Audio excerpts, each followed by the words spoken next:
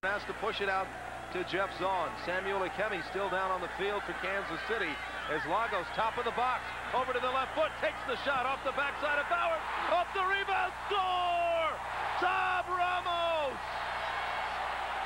Within a minute and a half Savarese off the head Ramos off the and if you go back to the original start of this play, it was Savarese. He was on the ground. There were two defenders around him. He managed to push the ball into Rob Johnson. Rob Johnson takes the original shot. Then Lagos, he takes the shot. Look at it, comes back. And Tab Ramos just blasts it.